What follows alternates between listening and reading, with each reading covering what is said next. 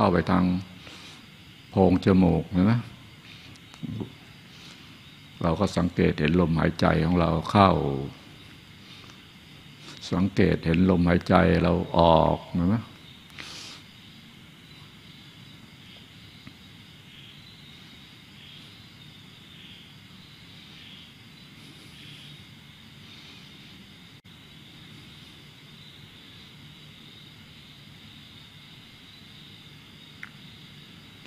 แรกๆเราจะเห็นว่าลมหายใจเรามันแรงนะ หายใจแรงเพราะว่าเรายังไม่ชำนาญ ค่อยๆสังเกตเห็นทำใจให้ว่างๆให้สบาย เราจะเห็นว่ามันเข้ามันออกโดยธรรมชาติไม่ใช่ทำลมขึ้นมานะให้มันเห็นเป็นธรรมชาติลมเข้าลมออก นิ่งเห็นมันเข้า โอ้ลมมันเข้า เราก็เห็นว่าลมมันเข้า ลมออกเราก็เห็นว่าลมมันออก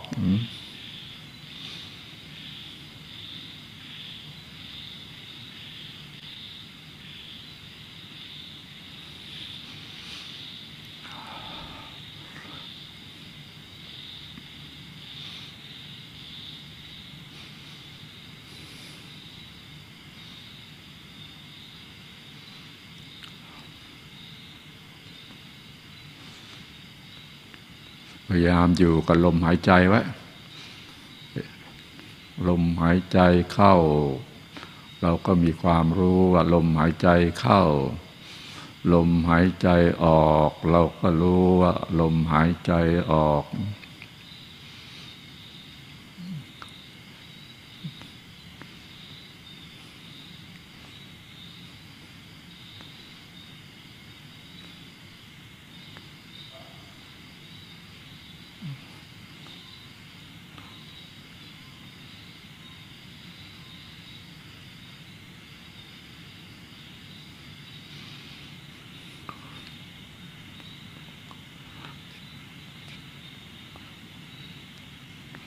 จิตมันออกไปที่อื่นอีกก็เอากลับมากลับมาอยู่ที่ลมหายใจ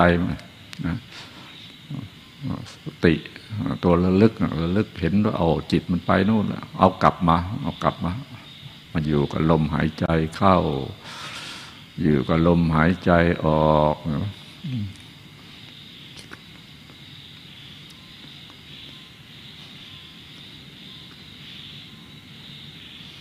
ลมหายใจเข้า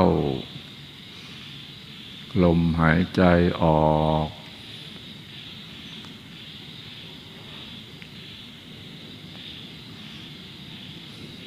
จะบริกรรมช่วยก็ได้ ลมหายใจเข้าพูด ลมหายใจออกโท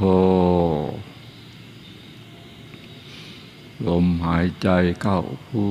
ด ลมหายใจออกโท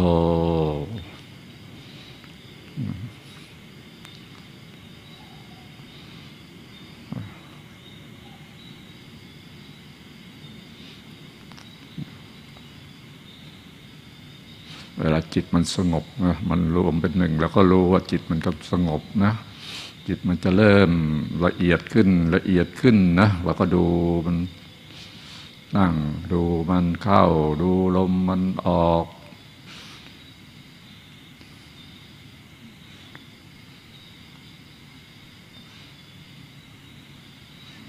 พยายามรู้จิตไว้ รู้แล้วก็เอากลับมา มันมี มาธิเราก็รู้สมาธิเกิดกับเราเราก็รู้นะมันยังฟุ้งซ่านอยู่เราก็รู้มันฟุ้งอยู่เราก็พยายาม ดูลมเราดูลมเราไปเรื่อยเรื่อยดูให้มันสงบ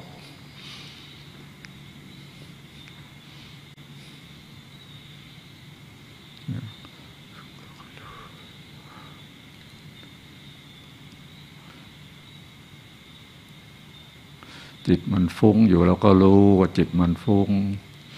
เราก็เอากลับมานะไม่ให้มันสงบนะดูกายลมหายใจของเราเข้าดูลมหายใจออก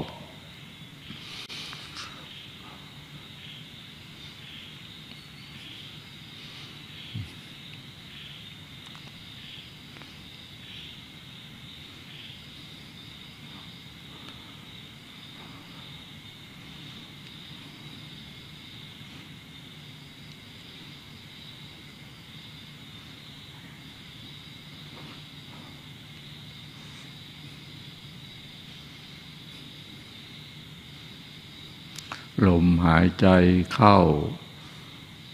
ยาวเราก็รู้ ลมหายใจออก ยาวเราก็รู้ ลมหายใจเข้าสั้น เราก็รู้ ลมหายใจออกสั้น เราก็รู้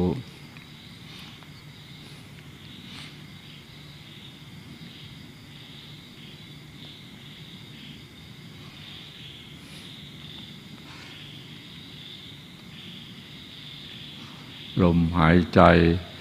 เบาเราก็รู้ลมหายใจแรงเราก็รู้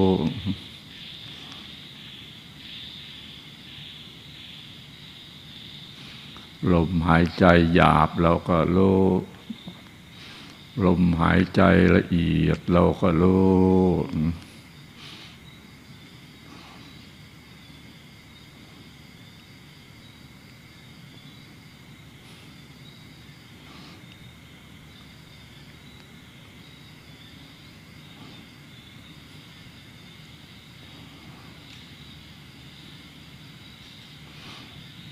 หายใจเข้ามาท้องมันก็พองเราก็รู้ ลมหายใจออกท้องก็ยุบเราก็รู้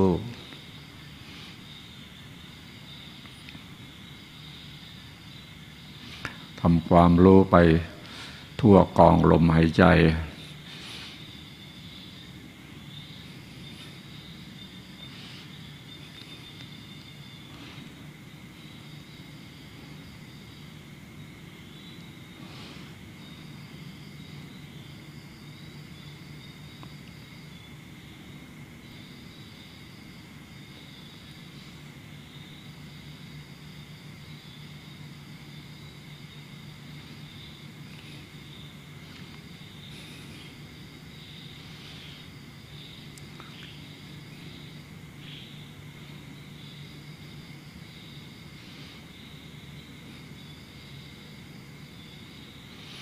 จิตมันสงบ เราก็รู้ จิตไม่สงบ เราก็รู้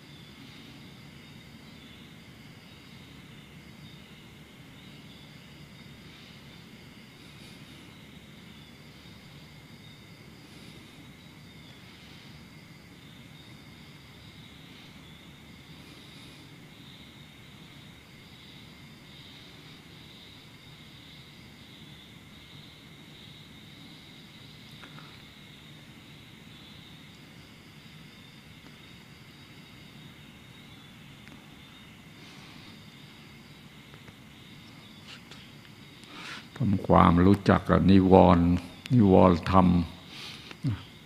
นิวรณ์ธรรมที่เป็นเครื่องสกัดกั้นสมาธิ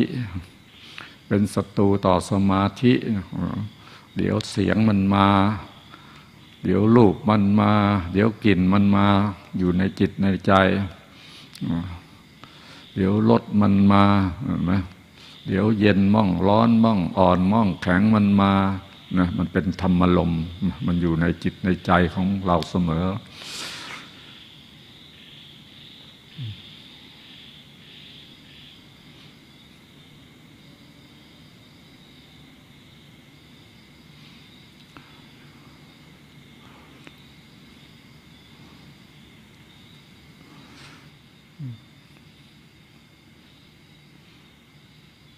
เดี๋ยวความอาฆาตพยาบาทมันมา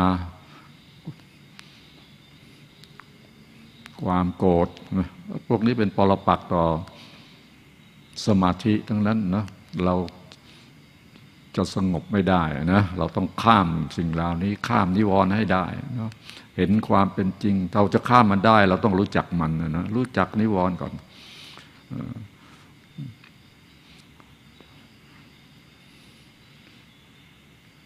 เดี๋ยวไอ้ง่วงมันมา ไอ้เมื่อยมันมาเห็นไหมไอ้ตัวขี้เกียจเห็นไหม คนจะมีสมาธินี่ได้สมาธินี่จะเป็นคนขยันอดทนนะถ้าไม่ได้สมาธิเเจอกับพวกนี้ก็นะมันก็มารบกวนเรา มันพาเราออกนอกลูกนอกทางหมด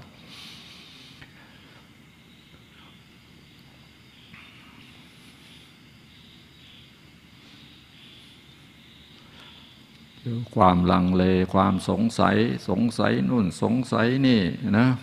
มันมาเข้ามาเนี่ยเราไปรู้มันนะจิตมันออกจากสมาธิไปแล้วเนาะ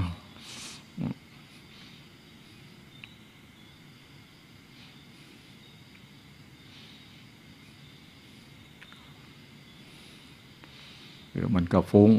เราก็รู้ฟุ้งเราฟุ้ง เราก็รู้จักฟุ้งไม่ใช่พอมันฟุ้งเราก็ฉันนั่งสมาธิไม่ได้แล้วนะฉันนั่งไม่ได้เรามันฟุ้งไม่ใช่เราก็ต้องรู้จักว่า นี่แหละคือฟุ้งเราฟุ้งเราถึงต้องมาทำสมาธินะมาทำสมาธิจิตเราฟุ้งจิตเราลังเลสงสัย อาฆาตพยาบาทอยู่ ยังยึดติดในกามในรูปในเสียงในกลิ่นในรสอยู่เห็นไหม เราจะไปไหนได้เราก็ไปไหนไม่ได้ใช่ไหมเริ่มต้นไม่ได้ สมาธิเห็นไหมสมาธิเมื่อจิตมันสงบแล้วนะสติมันก็เกิดขึ้น ปัญญามันก็เกิดขึ้นเห็นไหมสมาธิก็นำไปสู่สตินำไปสู่ปัญญา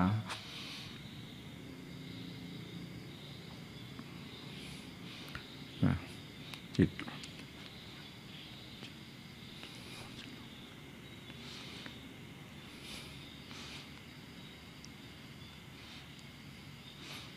เราทำความรู้จักกับนิวรณ์นะแล้วเราก็พยายามสังเกตเห็นไอ้ตัวนิวรณ์เนี่ย มันจะเข้ามาหาเราตลอดเวลาทำความรู้จักมัน ถ้าไม่รู้จักมัน เราก็จะแพ้มันตลอดเวลา เพราะเราไม่รู้อวิชามันครอบงำเราวิ่งแต่หาสุขสุขสุขกัน หาสุขให้กายนี้ เมื่อยก็ไม่ได้ ง่วงก็ไม่ได้แล้วนะ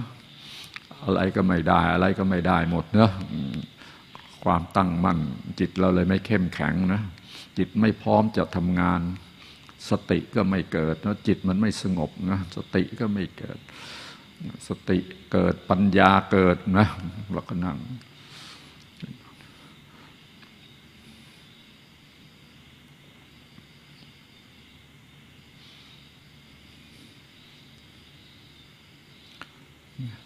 ทำไปนะสงบดูมันสงบสงบสักห้านาทีสิบนาทีก็เป็นบุญแล้วเห็นไหมเราเรียกว่าคณิกะสมาธิเห็นไหมฝึกไปเรื่อยๆ สงบได้สักสี่สิบห้านาที ชั่วโมงหนึ่งโอ้เป็นบุญใหญ่แล้วนั้นเป็นบุญจิต เรียกว่า อุปจารสมาธิเห็นไหม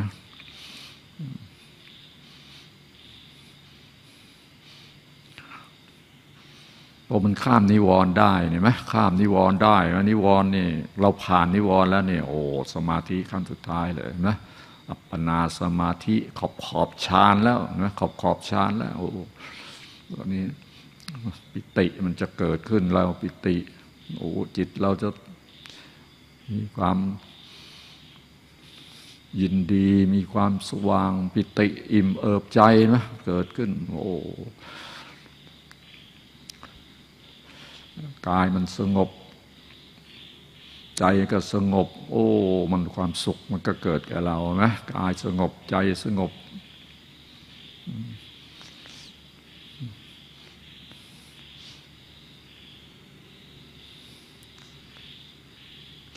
จิตรวมเป็นหนึ่งเดียวนะเป็นเอกกตาเนี่ยโอ้ไหมนี่ขอบขอบชานแล้วเห็นไหม มีความสุขอยู่กับปัจจุบันนะไม่แบกไม่หามอะไรแล้วนะสมาธิมันก็ทำทับเราไว้ไม่ให้ เกิดอดีตเกิดปัจจุบันนะ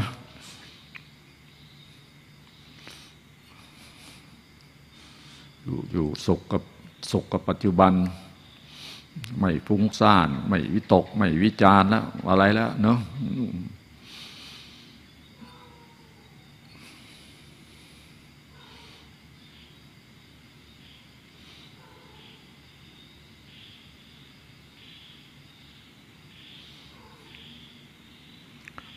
เป็นสังเกตเห็นรู้ว่า โอ้เนาะจิตเรามันเป็นอย่างนี้นี่เอง กายมันเป็นอย่างนี้นี่เองนะ เมื่อจิตมันสงบแล้ว โอ้ปิติเกิดปิติก็ดับสุขเกิดสุขก็ดับนะไม่มีอะไรเลยนะ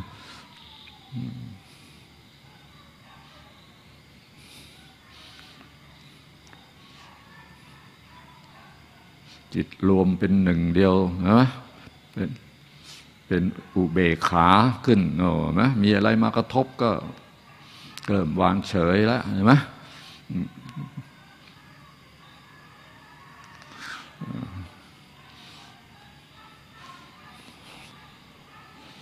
ริ่มรู้จักกายเรารู้จักจิตเราโอ้กายนี่สังขารกายมันเป็นอย่างนี้นี่เอง มันปรุงแต่งตลอดเวลา จิตมโนสังขารหรือจิตเนี่ยนะก็ปรุงแต่งตลอดเวลา มันรู้จักจิตมันเป็นหัวหน้า มันเป็นใหญ่มันเป็นผู้นำนะ มันปรุงแต่งอยู่ตลอดเวลา โอ้พอจิตเราสงบเราจะเห็นอะไรที่เราไม่รู้เราก็จะรู้นะโดยธรรมชาติแล้วถ้าเราไม่ทำกรรมฐานหรือไม่ทำสมาธิ ไม่เจริญวิปัสสนาแล้ว เราจะรู้ไม่ได้เรื่องแบบนี้นะพอเราเข้าไปเห็นความเป็นจริง เราก็จะรู้ โอ้ไอ้กายนี่คือไหม เป็นอย่างนี้เอง จิตอย่างนี้เองมันปรุงแต่งอยู่ตลอดเวลานะกายก็ปรุงแต่ง จิตก็ปรุงแต่ง เราเกิดมาก็เพราะเหตุปัจจัยที่มันปรุงแต่งนี่แหละตายก็เพราะเหตุปัจจัยของการปรุงแต่งนี่แหละเกิดมาดีเกิดมาไม่ดีก็เพราะปรุงแต่งนั่นแหละปรุงแต่งเป็นดีเป็นบุญ เป็นกุศลมันก็เป็นเกิดมามันก็ดี เกิดบุญแต่งเป็นบาปเป็นอกุศลมันก็ไม่ดีใช่ไหมการเกิดเกิดจากการปรุงแต่ง ไม่มีใครสร้างเราไม่มีใครบันดาลให้เรา ไม่มีใครอะไรเราตัวเราเองทั้งนั้นเห็นไหมเราจะเห็นความเป็นจริง เห็นรู้เรื่องของชีวิตของสัตว์โลก ของมนุษย์ไปตามธรรมชาติมันเป็นอย่างนี้นี่เอง รู้เรื่องของโลกใบนี้ โอ้เป็นอย่างนี้นี่เองโลกใบนี้ก็มีแต่ธาตุดินน้ำลมไฟมนุษย์ก็ใช้ชีวิตไปตามธรรมชาติตาม นิสัยใจคอเกิดมาก็เป็นอย่างนี้สัตว์ก็เป็นอย่างนั้น เป็นอย่างนี้มันก็เป็นของมันอย่างนั้นนะเราก็เริ่มรู้นะการเป็นอยู่ของสัตว์โลกของมนุษย์นุ่มมนุษย์ เกิดมาจิตใจก็เป็นไม่เหมือนกัน สถานที่เกิดก็ไม่เหมือนกันนะอยู่อาศัยไม่เหมือนกัน ความรู้ไม่เหมือนกันนะแต่มนุษย์ก็ยังดีเป็นประเสริฐเป็นสิ่งประเสริฐ ยังมีใจสูงใช่ไหมถ้าเกิดมาเป็นสัตว์ใช่ไหมสัตว์เดรัจฉาน มันก็ไม่รู้ก็ทำมาหากินไปตามความรู้เบื้องต้นของมันใช่ไหม มนุษย์เรายังเรียนเราศึกษาได้นะมีความคิดความนึกคิดก็ต่างกันไปเป็นอย่างนี้ของสัตว์ก็เป็นอย่างนั้นอย่างนั้น เพราะว่าความนึกความคิดมันเป็นไปอย่างนั้น โลกใบนี้ก็มีแต่ธาตุดินน้ำลมไฟ เราก็รู้ไหมร่างกายเราก็มีแต่ธาตุดินธาตุน้ำธาตุลมธาตุไฟไม่มีอะไรเลยเห็นไหมก็มีอันนี้เป็นสัจธรรมใช่ไหม อันนี้เป็นเป็นสิ่งของเป็นร่างกายเราธาตุดินน้ำลมไฟเนี่ยมีธาตุวิญญาณเข้ามาร่วมด้วยก็เป็นสมุติธรรมแล้วเห็นไหมมีสิ่งที่มีชีวิตเกิดขึ้น มีขันห้าเกิดขึ้นเห็นไหมขันห้าไม่เที่ยงขันห้าเป็นทุกข์ซะแล้วเห็นไหมมีขันห้าเกิดก็เป็นทุกข์เห็นความเป็นจริงไหมของธาตุ เพราะฉะนั้นถ้าธาตุดีโลกใบนี้มันก็มีความสุขธาตุดินธาตุน้ำธาตุลมธาตุไฟมันดีธาตุวิญญาณมันดี มันก็มีความสุข มันก็คือสวรรค์อยู่บนนี้แหละโลกใบนี้เนาะเรารู้ไปถึงการเกิดการดับการจุติการอุบัติใช่ไหมรู้ไปถึงสวรรค์ รู้ไปถึงนรกรู้ไปรู้รู้ไปถึงโลกที่เราอยู่นี่เห็นไหมเห็นความเป็นจริงก็ได้จาก สมาธิเนี่ยหรือสมถะเนี่ยแหละเราเห็นความเป็นจริงของชีวิตของสัตว์โลกของโลกใช่ไหมของสวรรค์ของหรือของจักรวาล มันก็เป็นไปของมันอย่างนั้นนะพอเรารู้เลยไหมเราก็รู้ว่าเราจะทำยังไงใช่ไหมก็เรียกอภิญญามันเกิดขึ้นแล้ว ความรู้รู้เรื่องของ รู้ดีรู้ชั่ว รู้ถูกรู้ผิดใช่ไหม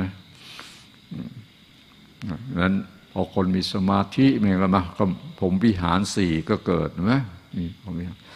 เกิดผมวิหารสี่แล้วพอเรารู้แล้วเราก็มีความเมตตาขึ้นแล้วเห็นไหมแทนที่เราจะไปโกรธไปอาฆาตพยาบาทเขาไปเกลียดเขาไป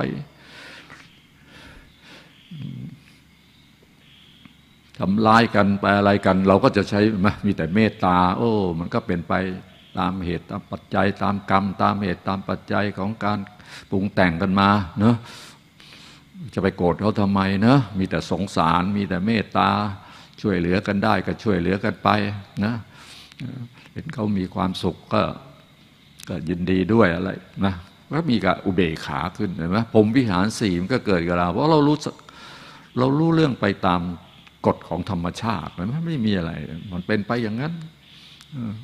เราไปแบกไปหามไว้ทำไมไหมเราโอ้จะต้องให้คนอื่นเขาดีต้องให้คนนี้ดี คนนั้นไม่ดีคนนั้นไม่ดีก็ไม่ได้แล้ว แบกหามไว้หมดทุกนะมั้แต่ตัวเราไม่เคยดูเลยว่าตัวเราเป็นยังไงมองเห็นไหมแต่ถ้าเราปฏิบัติไปแล้วเราจะเห็น โอ้ยคนอื่นเขาก็เป็นอย่างนั้น เราก็เป็นอย่างนี้นะเราก็ไม่ได้ดีไปกว่าเขาหรอกเนาะ เขาก็มีโลภมีโกรธมีหลง เราก็มีโลภมีโกรธมีหลง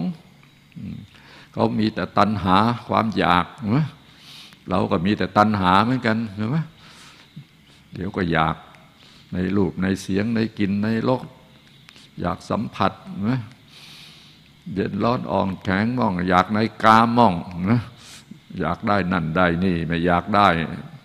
นั่นได้นี่ อยากเป็นนั่นเป็นนี่ ไม่อยากเป็นนั่นเป็นนี่ เห็นไหม เนี่ยก็เรียกตัณหาเป็นเหตุแห่งทุกข์ทั้งนั้นนะเราเริ่มเข้าไปเห็นสภาวะของความเป็นจริงของเห็นสัจธรรมนะเห็นสมุติธรรม เริ่มเห็นเริ่มปัญญาเกิดเริ่มรู้จักพุทธศาสนธรรมขึ้นมาแล้ว เห็นไหมเนี่ยนี่คือศาสนธรรมนะศาสนธรรมนะ ศาสนธรรมเกิดกับเราแล้วเห็นความเป็นจริง ทุกอย่างเกิดขึ้นตั้งอยู่แล้วดับไป ทุกอย่างเป็นอนิจจังทุกขังอนัตตาหมดไม่เที่ยง ไม่มีอะไรเที่ยง ไม่มีอะไรเป็นของเราไม่มีอะไร เราสั่งอะไรไม่ได้ แม้แต่ลมหายใจเรายังไม่ใช่ของเรา ร่างกายนี้ก็ไม่ใช่ของเรา วันวันหนึ่งมันหนีทุกอย่างเดียว มันกลัวทุกอย่างเดียว มันก็หนีทุกเดี๋ยว แต่หนีไม่เคยได้สักทีนะหนีไปหาสุข เราวิ่งหาแต่สุขกันนะมนุษย์ก็วิ่งหาแต่สุขหาแต่สุขทั่วครั้งชั่วคราว สุขจอมปลอมสุขที่เคลือบไปด้วยยาพิษนะพระเจ้าสอนให้เราหาสุขที่แท้จริงนะสุขชาตินี้ไปถึงชาติหน้า สุขไปทุกชาติทุกชาตินะ สอนให้เรามีลาบมียศก็มีไปทุกชาติทุกชาติ มีจริงๆนะเราไม่เอาลาบเอายศไปทำความเสียหาย ไปเบียดเบียนใครไปทำลายใคร ลาบยศมันก็เป็นของเราไปทำประโยชน์กับส่วนรวมและตัวเราเองนะเนี่ยมันก็คือดับทุกข์ทั้งหมดมันก็คือดับทุกข์ทุกข์มันเกิดเพราะว่านะเพราะว่าเราไม่ได้เห็นสิ่งเหล่านี้ ไม่ได้เห็นความเป็นจริง เราก็วิชามันครอบงำกันนะ เราไม่รู้เรื่องทุกข์ ไม่รู้เหตุแห่งทุกข์ เราไม่รู้ดับทุกข์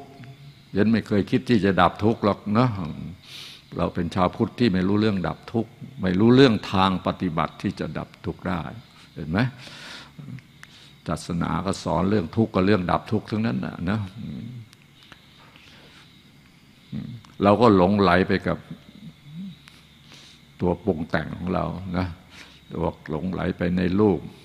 ในในจิตในเจตสิกนะเจตสิกคือตัวปรุงแต่งนะจิตเจตสิกรูปนิพพานเห็นไหมพวกเนี้ยพอเราเข้าใจเห็นความเป็นจริงของมันแล้วโอ้เราคลาย ความกำหนัดต่างๆ ความยึดมั่นต่างๆ มันก็คลายออกได้นะมันก็คลายออกได้ มันก็วางได้นะไอ้กิเลสตัณหาไอ้กรรมที่เป็นเหตุเป็นปัจจัยมันพอกอยู่กับจิตใจเราจน มืดดำไปหมดแล้วเนาะจนไม่เห็นอะไรดีอะไรถูกแล้ว มันก็จะเห็นดีเห็นชั่ว เห็นอะไรมันก็สลัดออกเห็นไหมกิเลสมันก็เบาบางลง สลัดออกไป สลัดออกไป ตัณหาก็เบาบางลง จะเอาอะไรไว้อย่างเราอยากไปทำไมเยอะแยะหมด ไม่มีอะไรเป็นของเราแล้วเนาะเดี๋ยวเราก็ตายแล้วเนะของไม่มีอะไรเป็นของเรา กายเรายังไม่ใช่ของเราเลย ใจเราก็ยังบังใช่ของเราเลย บังคับอะไรก็ไม่ได้ มันเป็นอนัตตาหมดเลย แตกสายหายหายไปในที่สุด และไม่มีอะไรเที่ยงเลยเราจะไปแบกว่านั่นคือของเรานี่คือของเราแฟนกับของเราเห็นไหมไอ้พวกนี้เราที่เป็นเหตุในทุกข์เราไปแบกแฟนของเราลูกเต่าของเราครอบครัวของเราของหนู่นของนี่ของเราไปหมด ก็เลยแบกไว้ แบกกันมาไม่รู้กี่ชาติแล้ว วางไม่ได้ทักทีเนาะพระเจ้าสอนให้เราวางเห็นไหมสอนให้สลัด สอนให้วางให้เห็นความเป็นจริงว่า ไม่มีอะไรเป็นของเราไม่มีอะไร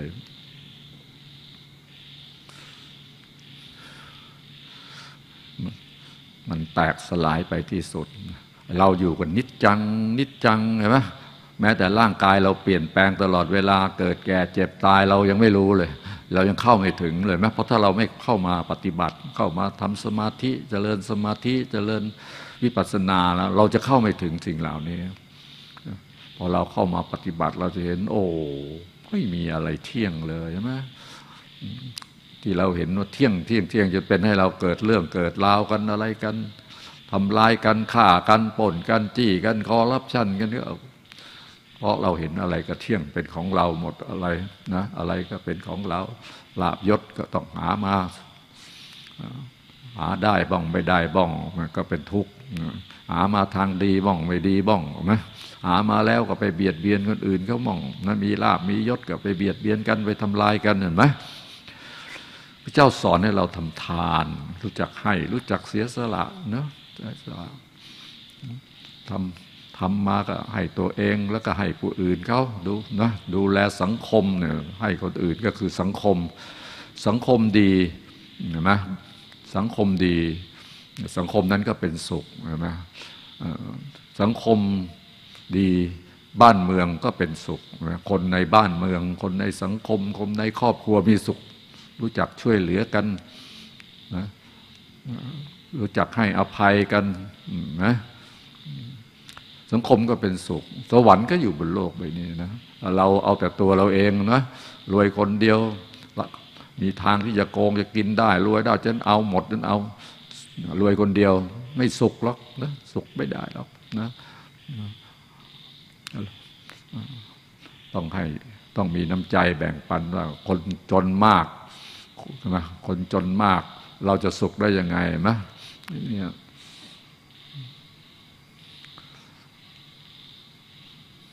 ก็มนุษย์เราสังคมเรา อยู่กันอย่างมีความสุขใช่ไหมไม่มีคนจนมีคนจนน้อยหน่อยไหมก็ไม่มีป้น ไม่มีจี้ ไม่มีขโมย ไม่มีฆ่ากัน ไม่มีทำลายกัน ไม่มีคอร์รัปชันไงไหมไม่รู้จะเอาไปทำไมเนอะก็ช่วยเหลือจนเจือกันไปเท่าที่ของเราจะทำได้เห็นไหม เห็นไหมปัญญามันเริ่มเกิดแล้วนี่ตัววิปัสสนาญาณเนี่ยมันเกิด มันเริ่มรู้แล้วเห็นไหมรู้รูปรู้นามนะทั้งหมดนี้มีแต่รูป มีแต่ธาตุดินน้ำลมไฟ มีแต่รูปทั้งนั้น รวมกันไปแล้วก็เป็นรูปไม่มีอะไรเลย รู้นามเห็นไหมนามก็คือจิตเรา ตัวเวทนาตัวสัญญาตัวสังขารตัววิญญาณตัวปรุงแต่งต่าง ๆ ก็เรียกว่านามเห็นไหมบนโลกใบนี้มีแต่รูปกับนาม ไม่มีหลอกสัตว์ บุคคลตัวตนเราเขา มีแต่รูปกับนามมีแต่ธาตุดินน้ำธาตุลมธาตุไฟธาตุวิญญาณเห็นไหมแต่มัน ถึงแม้ว่าโลกใบนี้จะเปลี่ยนแปลงอะไรไป ยังไงยังไงก็มีแค่ธาตุดินธาตุน้ำธาตุลมธาตุไฟธาตุวิญญาณนะแต่ไม่รวมกันนะถ้ารวมกันเมื่อไหร่ธาตุดินธาตุน้ำธาตุลมธาตุไฟธาตุวิญญาณรวมกันเมื่อไหร่ก็เป็นสมมติธรรมขึ้นมาเลย เกิดสิ่งไม่เที่ยง เกิดขันห้าขึ้นมา เกิดสัตว์ เกิดมนุษย์ขึ้นมาไหมกลายเป็นของไม่เที่ยงเป็นทุกข์ขึ้นมาทันทีเลย ทั้งนั้นเลยนะ ทุกขังอยู่ในสภาพเดิมไม่ได้ เป็นอนัตตาหมดเห็นความเป็นจริงเห็นไหมปัญญาก็เริ่มเกิด โอ้รูปนามนี่มันก็ไม่ได้เกิดมาจากไหน เกิดจากเราเนี่ยแหละปรุงแต่งเห็นไหมเราปรุงแต่งดี มันก็เกิดมาดีปรุงแต่งไม่ดีแล้วก็ไม่มันก็เกิดมาไม่ดีไม่มีใครเป็นผู้บันดาล ไม่มีใครเป็นผู้สร้างมาเลยนะเราเองสร้างรูปสร้างนามของเรามาเองเนาะ เราจะไปสวรรค์จะไปนรกกับเราเองนั่นแหละนะไม่ต้องไปขอให้ใครช่วยไม่ขออะไรเราทำเท่านั้นนะจะเอาสอนให้เราทำเห็นไหมเห็นความเป็นจริง รูปนามนี่ไม่เที่ยง รูปนามเป็นทุกข์รูปนามเป็นอนัตตา เกิดขึ้นตั้งอยู่แล้วก็ดับไป โอ้รูปนามนี่เป็นของน่ากลัวเหลือเกิน เห็นไหมน่ากลัวเหลือเกินเห็นไหม เป็นอันตรายนไหมเป็นอันตรายน่ากลัวเหลือเกินใครไปยึดไปติดมันก็ โอ้เวียนว่ายตายเกิดอยู่นี่แหละแบกหามันอยู่ไว้นี่แหละเนะเวียนว่ายตายเกิดก็เพราะมันนี่แหละนะเห็นมันอันเป็นอันตรายไหมเป็นภัยอย่างใหญ่หลวงเลยนะมะใครไปยึดไปติดมันก็เวียนว่ายตายเกิดอยู่นี่นะยึดติดในขันห้านะ เพราะไปยึดติดเอาของไม่เที่ยงเขาให้เห็นไหมเป็นเหตุเป็นปัจจัยให้เกิดกิเลสตัณหา เกิดกรรม เกิดการกระทำขึ้น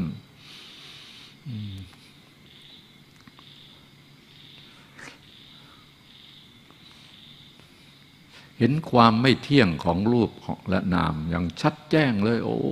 มันเป็นอนิจจังทุกขังอนัตตาอย่างชัดแจ้งนะการปฏิบัติของเรา เราก็จะเห็น นั่งพิจารณาดูไหมกายเราเป็นไงไหมใจเราเป็นยังไงไหมทำจนจังแจ้งเห็นจนมีแต่ความไม่เที่ยงทั้งนั้นนั่นแหละไหมเวลาเราปฏิบัตินะนั่งสมาธิมองนั่งทำวิปเจริญปัญญาเจริญวิปัสสนามอง มันก็อยู่ในรูปในนามเห็นความ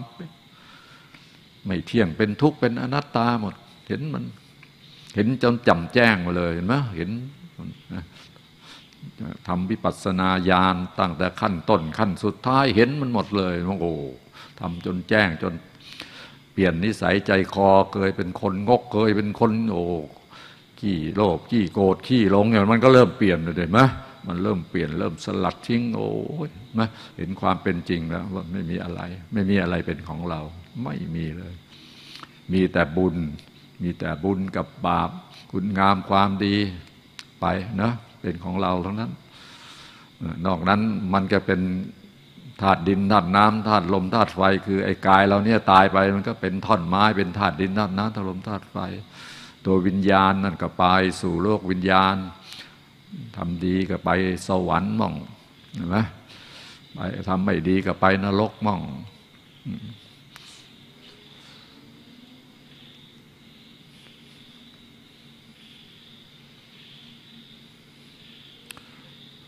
ทำให้แจ้งไหมดูกายในกายเวทนาในเวทนาจิตในจิตธรรมในธรรม เห็นทบทวนขึ้น ทบทวนลงเห็นไหมทำดูอริยสัจสี่โอ้อย่างแจ่มแจ้ง เห็นทุกอย่างแจ่มแจ้งเลย รู้ทุกโอ้ทุกมันเกิดอย่างนี้เป็นอย่างนี้นี่เอง เกิดก็เป็นทุกข์แล้ว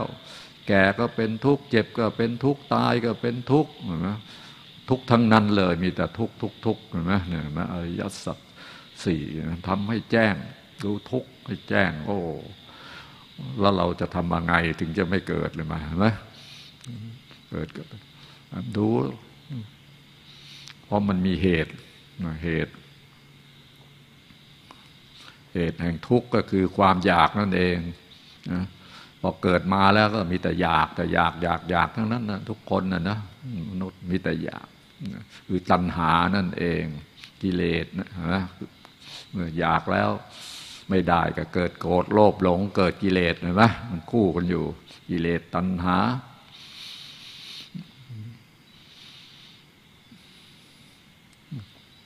ทำให้แจ้งนะทำให้นะ ไปอ่านหนังสือไปเทศไปฟังก็เป็นปัญญาอย่างหนึ่งนะเป็นปัญญา แต่ถ้าทำด้วย ภาวนามยปัญญานะเจริญภาวนามเนี่ยคือทำเจริญสมาธิเจริญวิปัสสนาจะเราจะเห็นอะไรที่เราเข้าไปถึงไอ้เรื่องที่ละเอียดอ่อนอย่างนี้นะเรื่องของกายกับจิตเนี่เป็นเรื่องละเอียดอ่อนนะต้องใช้ภาวนามยปัญญาเข้าไปเห็นความเป็นจริง เห็นจน รู้ว่าเราจะต้องดับทุกข์ก็แล้ว ดับทุกข์ก็คือการทำให้แจ้งนี่แหละนะทำให้แจ้ง ดับทุกข์หรือนิโรธเห็นไหมนิโรธทำให้แจ้งในตัณหาทำให้แจ้งในทุกข์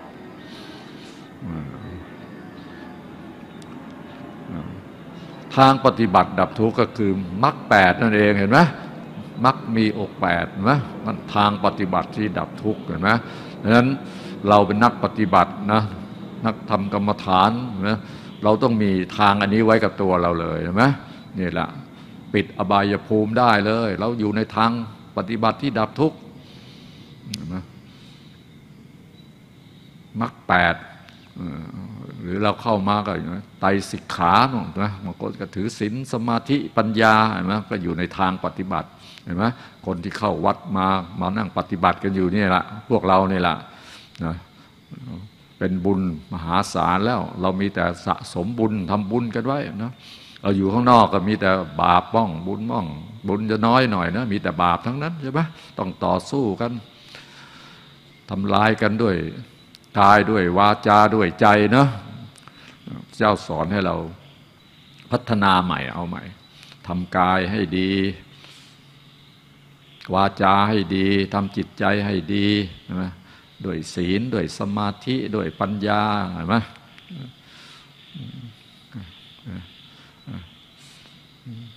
พวกเราคือพวกบุญพวกมีเจตนาที่จะมาละความชั่วกันเห็นไหมมาละความชั่วนะหัวใจของพุทธศาสนาคือละความชั่วกระทำความดีทำจิตใจให้ให้บริสุทธิ์เห็นไหมนี่แหละ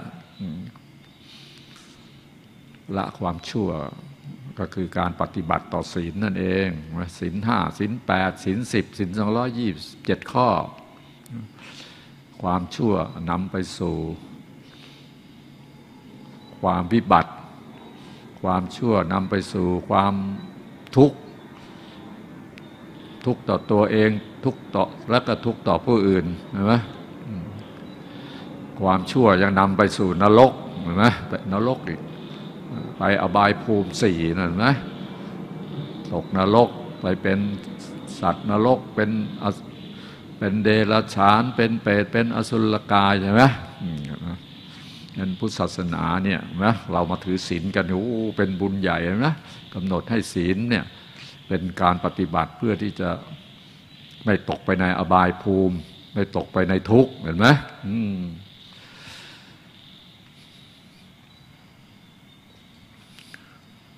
มากระทำความดีกันเห็นไหมเนี่ยแหละพวกเรามากระทำความดีนะการกระทำความดี ก็คือการจะมาทำให้มรรคแปดเจริญกับเราเนะให้พรมวิหารสี่เจริญขึ้นกับเราเห็นไหม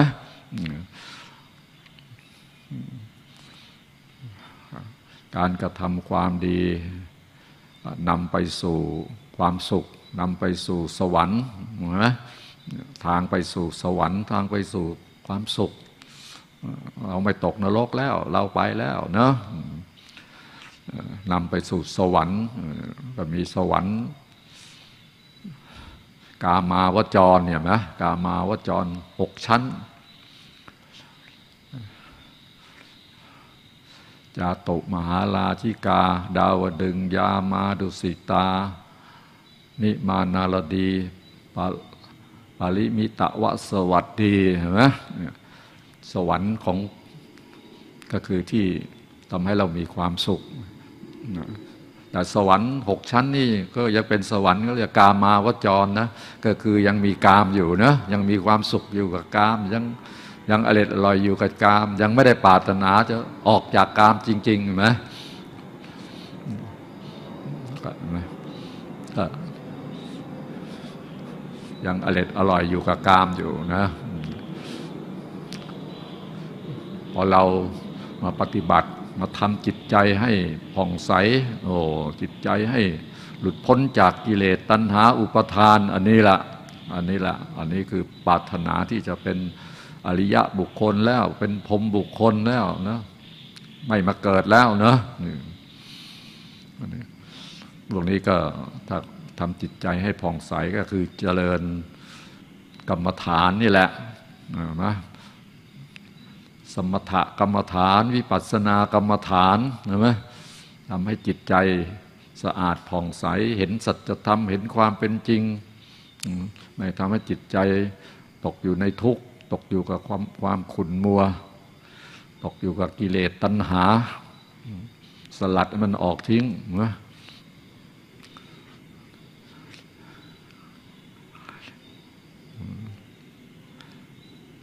การกระทำความดีเนี่ยนะแล้วก็ทำจิตใจให้ขาวรอบหรือให้บริสุทธิ์สะอาดเนี่ยก็ถ้าไปเป็นสมถะหนักไปทางสมถะหน่อยก็ก็เป็นพวกไปเป็นพวกเทวดาเป็นพรหมใช่ไหมลูกพรหมสิบหกลูกพรหมสี่ใช่ไหมลูกพรหมสี่แล้วก็มีที่หมายก็คือพระอรหันต์ในที่สุดนะ แล้วก็ส่วนวิปัสสนาก็ทางเดียวกันนั่นแหละ แต่วิปัสสนาในทางโสดาบัน สกิทาคามีอนาคามีนะแล้วก็อรหันต์เห็นไหมงั้นทั้งสมถะทั้งวิปัสสนานั่นนะก็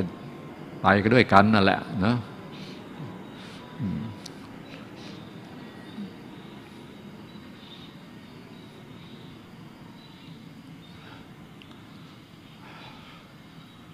นะเราก็ต้องปฏิบัติให้มาก ๆทำให้มาก ๆ เราขั้นแรกเรารู้ว่าจิตเรายัง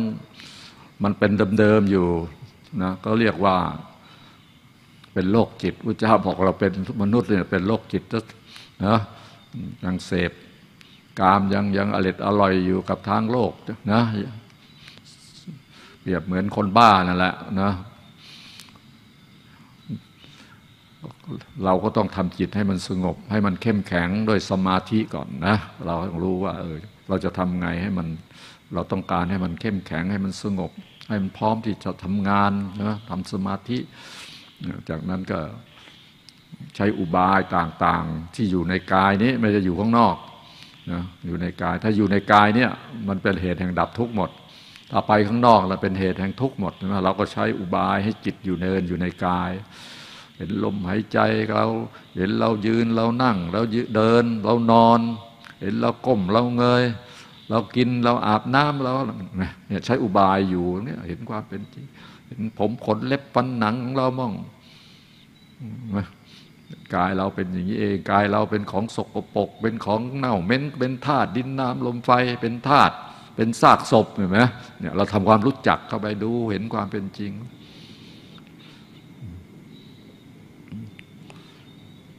เป็นจิตเรา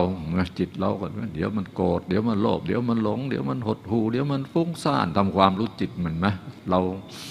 ทำความรู้จักมันไว้เรา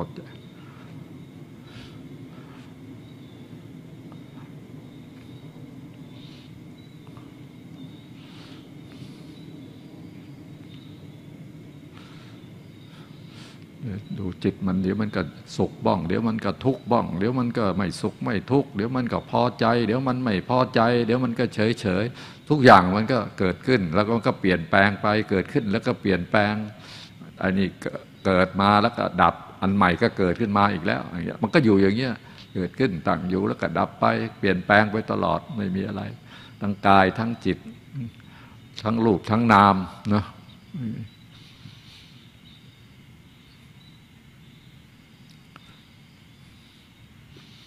มีแต่ความว่างนะเจ๊เขาเรียกจิตว่าง จิตว่างนะมั้ยจิตว่าง จิตว่างนะพอเราทำไปถึงขนาดหนึ่งแล้วก็ โอ้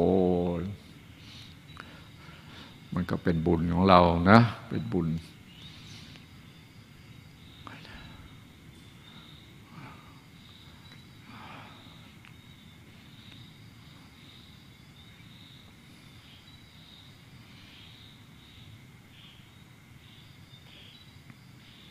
นั่นครูบาอาจารย์ก็สอนเรานะ จะทำอยู่ในท่าไหน อิริยาบถไหนก็ได้ ไม่ต้องสงสัย บางทีอิริยาบถนั่งก็ทำได้ ยืนเดินนั่งนอนทำได้หมดนะแล้วก็อุบายให้จิตสงบ อุบายให้จิตเกิดปัญญา ให้เกิดพอจิตมันสงบสติมันก็เกิดทำสติใช้สติระลึกไประลึกเข้าไปเห็น เป็นอนุสติเป็นสมาธิกับอนุสติเป็นวิปัสสนาก็ตัวปัญญาก็เป็นมหาสตินะอยู่ในมหาสติสติประฐานสี่ใช่ไหมแล้วก็รู้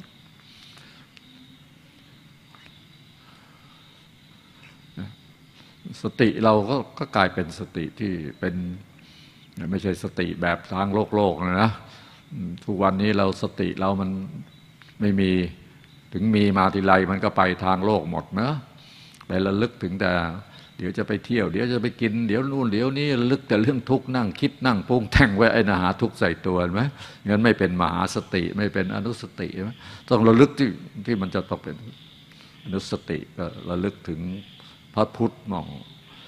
นะพระพุทธเจ้าระลึกถึงพระธรรมเห็นไหมธรรมคำสั่งสอนของพระพุทธเจ้าระลึกถึงพระสงฆ์ ผู้เอาธรรมะ ผู้เอาคำสั่งสอนของพระเจ้ามาสอนเรามาเผยแผ่นะเราลึกถึงศีลนะศีลคือสิ่งที่พระเจ้าที่กำหนด ให้เราออกจากความชั่วทั้งปวงนะให้เราเป็นคนดี ให้เราเป็นปกติ ไม่ตกนรก ลึกถึงทานมาเรา ได้เสียสละเราไป เราทำบุญใหญ่ยังทำบุญใหญ่กับผู้อื่น ให้อภัยช่วยเหลือจุนเจือกันทำประโยชน์ให้กับสังคมนะทำประโยชน์ให้แก่บ้านเมืองหรือยังนะเราก็นาลึกไปดูไปสิ่งดี ๆ เหล่านี้เนี่ยแหละเป็นบุญนะลึกถึงความตายอย่างเงี้ยนะเราก็ดูเป็นอนุสติเรื่องความตายนะคนเราก็ต้องตาย ตายยังไงตายกันตลอดเวลา วันวันหนึ่งเราอาจจะตายวันนี้พรุ่งนี้ก็ได้นะอย่างนั้นให้ระลึกไว้ได้เตรียมตัว เตรียมใจไว้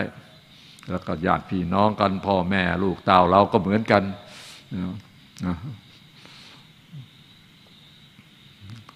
ระลึกถึงกายเราเห็นไหมเห็นกายเรานี่แม่มันเป็นของสกปรกอาหารที่เรากินก็สกปรก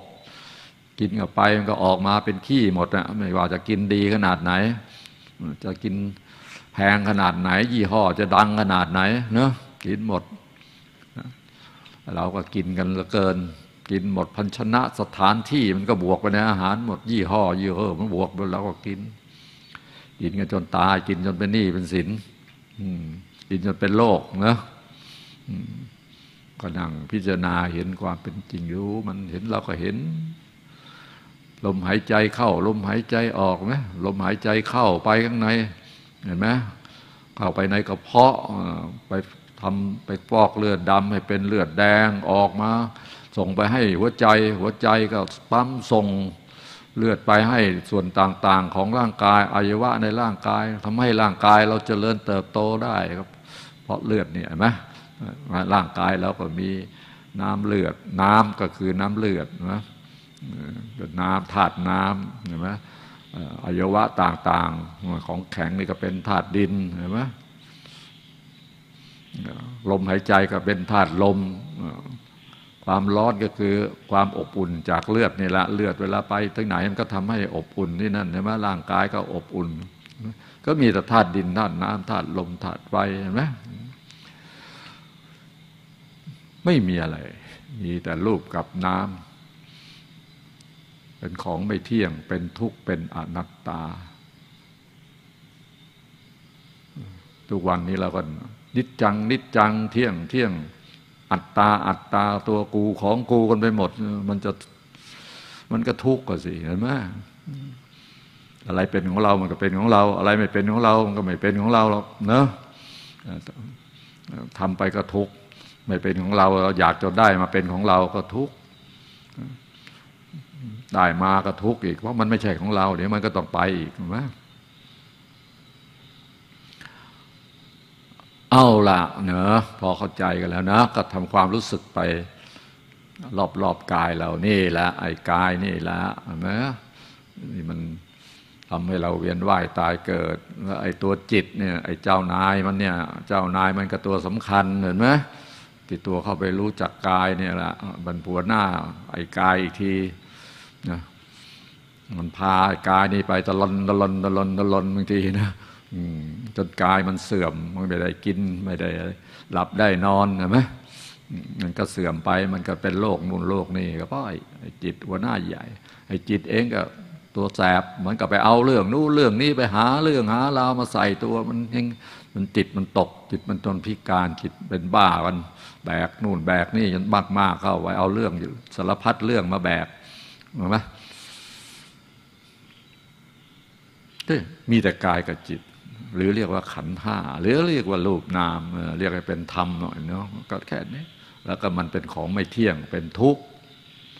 เป็นอนัตตาทำความรู้สึกไปที่มือขวา ใช้สติระลึกเห็นนะมือขวาเนี่ยค่อย ๆ เคลื่อนมือขวาออกไปที่หน้าตากเห็นไหม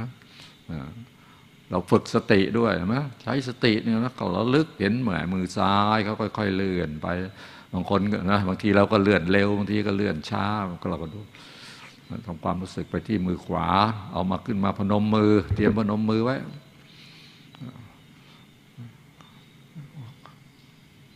ทำ ความรู้สึกไปที่มือซ้าย ยกมือซ้ายมาพนมมือก็อธิษฐานจิตนะว่าการที่เรามาประพฤติมาปฏิบัตินะในวันนี้เพื่อดับทุกข์เพื่อปลดปล่อยกิเลสออกไปเนี่ยนะขอให้เรามีมีความเจริญในความในการปฏิบัติ ขอให้เราเข้าถึงธรรมะ มีปัญญา มีดวงตา เห็นธรรมะ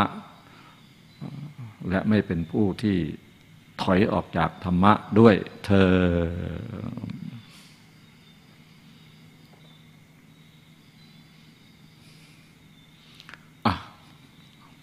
แผ่เมตตานะ สัพเพสัตตาอาสาทั้งหลายที่เป็นเพื่อนทุกเกิดแก่เจ็บตายด้วยกันหมดทั้งสิ้น เราอุทิศบุญกุศลของเราให้หมดด้วยกันอาเวราอาจงเป็นสุขเป็นสุขเถิด อย่าได้มีเวรแก่กันและกันเลย อโรคาจงเป็นสุขเป็นสุขเถิด อย่าได้มีความใกล้ลำบากกายลำบากใจเลยอัพยาจงเป็นสุขเป็นสุขเถิด อย่าได้พยาบาทเบียดเบียนซึ่งกันและกันเลยอานิคาอาจงเป็นสุข อย่าได้มี ทุกใจเลย อัตตานังปริหารันตุ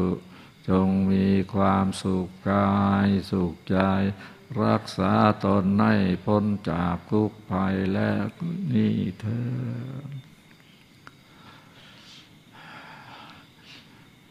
อะยังมีอีกสิบห้านาที จริงๆหลวงพ่อ ไม่ไม่ค่อยให้เราเนี่ยแผ่เมตตาไปเยอะๆหมดนะให้ปฏิบัติให้ดีก่อนเราปฏิบัติให้ดีแล้วนะทำให้ตัวเราได้ดีก่อนนะแล้วค่อยอย่างนั้นเรายังไม่มีกำลังพอไปให้ก็เนาะเนาะถึงแม้ว่ามันจะได้บ้างก็ดีอะมันเรื่องของจิตใจเรานะ จิตใจเราจะได้แผ่ไปก็เป็นผู้เสียสละเป็นผู้ให้นะเป็นผู้ให้จิตใจเราก็จะดีขึ้นนะ ก็งั้นก็นะเราต้องตั้งใจตั้งใจเพื่อให้มันมีกำลังขึ้นนะตั้งใจปฏิบัติตั้งใจเนี่ยแล้วเรากำลังในการให้เนี่ยนะมันจะมีเยอะนะเนี่ยแต่ถ้าเรายังบางทียังไม่ไม่มีด้วย แล้วมันยังและยังประมาทอยู่ด้วยเนะยังประมาทไปแล้วก็เป็นภัยนะบางทีแทนที่จะเป็นบุญเป็นของดีๆ ไปให้เขาเนี่ยเอากรรมของเราไปให้เขาอีกนะนะ บางทีเราทำไม่ดีเลยเนาะไม่ได้ทำไม่ได้อะไรเลยเนาะบางทีก็แบบไปนะแต่ก็แต่แล้วทุกอย่างละอยู่ที่ใจนะทำใจให้ดีใจให้ดีใจใจเป็นผู้ให้นะเป็นผู้ให้เป็นผู้เสียสละ เป็นผู้อะไรก็ดีดีหมดทุกอย่างนี่เป็นการกระทำทางใจหมดนะแม้แต่กราบแม้แต่ไหว้นะนอบน้อมถ่อมตนก็ดีเป็นบุญหมดเลย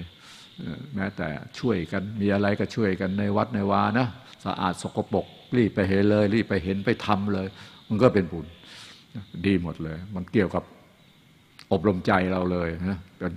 อบรมใจ คนละเจริญได้ เป็นคนดีได้ เป็นคนเจริญได้เป็นคนประเสริฐ มันต้องเป็นอย่างนี้ยต้องเสียสละถ้าไม่รู้จักเสียสละทำไม่ได้หรอกนะ เสียสละให้ผู้อื่นทำดีก็เรียกทำดี เป็นครู เป็นคนมีคุณธรรมเห็นไหมคุณธรรมคือการทำความดีทั้งนั้นเลยนะทางต่อสังคมต่อตัวเองถ้าตัวเองดีอย่างเดียวสังคมไม่ดีก็ก็ก็ทุกข์อีกนะก็ทุกข์ต้องทั้งทั้งสังคมด้วยนะทำสังคมบุญใหญ่นะทำสังคมทำทำกับคนอื่นนะทำกับคนตกทุกข์ได้ยากนะทำให้สังคมดีขึ้น ประเทศไทยเห็นไหมเรามีศาสนาพุทธนะ เวลามีอะไรตกทุกข์ได้ยากเราก็ช่วยเหลือกันนะปุ๊บเดียวไปแล้วไปช่วยกันแล้วนะเห็นไหมอย่างเงี้ยมันประเทศก็มีความสุขนะไปอยู่ที่ไหนเนี่ยในประเทศบางประเทศนี่ต้องหนีออกจากประเทศนะขนข้าวขนของเอาได้ฟ้าอะไรได้ก็ออกแล้วไม่ไหวอยู่ไม่ได้ เพราะมันมีแต่แรงน้ำใจทั้งอดอยากกันอะไรกันนะ ของเรานี่ยังดีนะเรามีศาสนาพุทธ เราแบ่งปันกันช่วยเหลือกันนะ ก็ยังดีก็ดีงั้นก็รักษาไว้รักษาความดีอันนี้ไว้นะเดี๋ยวนี้ก็มันจะเสื่อมละมันเสื่อมไม่ใช่ศาสนาเสื่อมนะ พวกเราเนะ่ยเสื่อมเสื่อมออกจากศาสนานะคนเราเสื่อมถ้าคนเราเสื่อมออกศาสนาโลกใบนี้ก็จะเป็นจะอยู่กันลำบากแล้วเนาะมีแต่โจรมีแต่จี้กันทำลายกันนะอายุก็จะสั้น คนก็ตายง่าย ตายเร็ว อายุสั้นโลกก็เยอะงั้นสิ่งที่เรามาเนี่ยพวกเรามานี่แหละ คือ ไม่มีอะไรดีกว่านี้แล้ว แล้วก็นี่แหละคือเทวดานี่แหละพวกเทวดาเขามามาอยู่กันเนี่ยแหละนะพวกเจตนามาละความชั่ว มากระทำความดีนะมาทำจิตใจให้สะอาดบริสุทธิ์ ก็อนุโมทนาด้วยนะ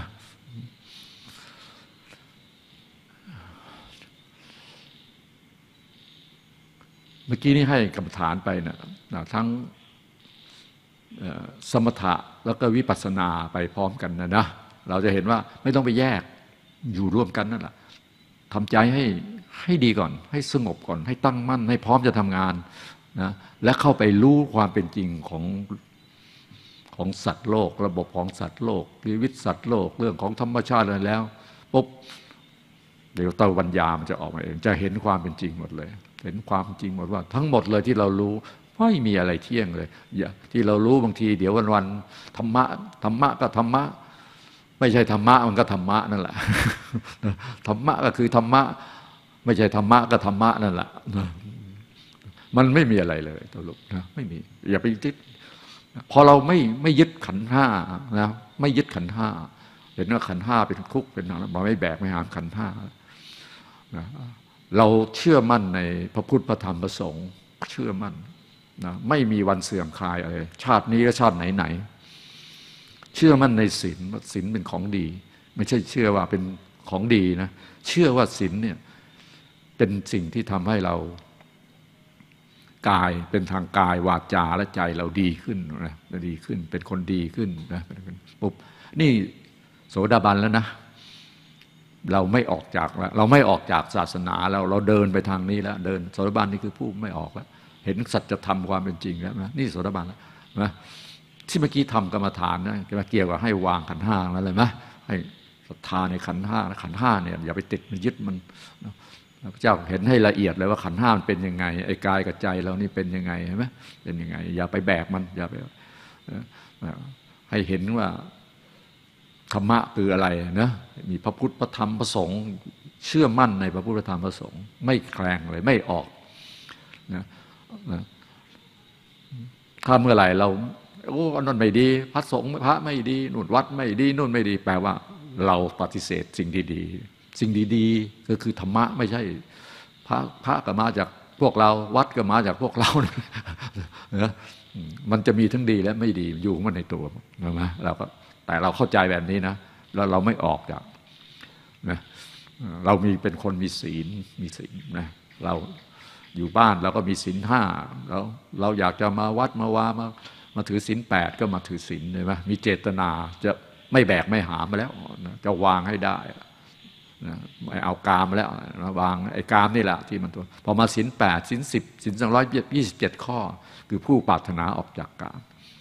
และออกจากกามแล้ว พอยี่สิบเจ็ดสองร้อยี่บเจ็ดข้อนี่ออกเลยออกแล้วออกได้แล้วโอ้ไอตัวที่ทำให้เราทุกข์มันก็น้อยลงแล้วเพราะกามนี่มันโอ้สารพัดทุกข์สารพัดทุกข์ที่เหตุเกิดจากกามนะเราก็มานั่งหน้าเหลืองหน้าเขียวหน้าดำเนี่ยนะก็มาทำก็มันมาจากพวกนี้ทั้งนั้นนะแบกมันมาอะไรกันมาเนะพอวางได้ไปตอนนี้โอ้ จิตใจดีขึ้นอะไรดีขึ้น กายก็ดีขึ้น หน้าตาดีขึ้น ใจก็ดีขึ้นเห็นไหมนี่แหละ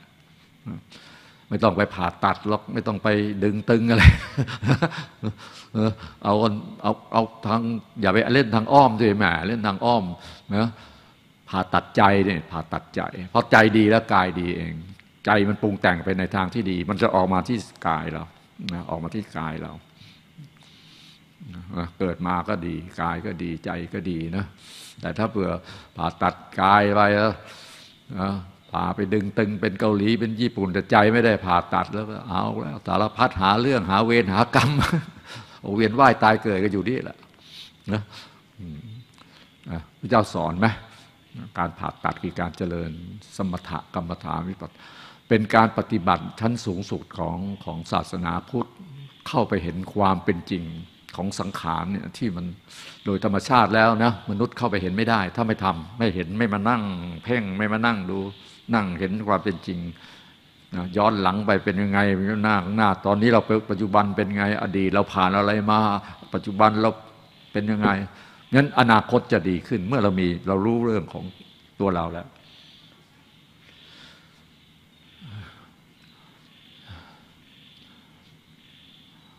อะ ไปแล้วนะ ขอให้ขอให้มีความเจริญทุกท่านทุกคนด้วยเธอนะเทวดานางฟ้าที่นั่งอยู่บนนี้นะนะ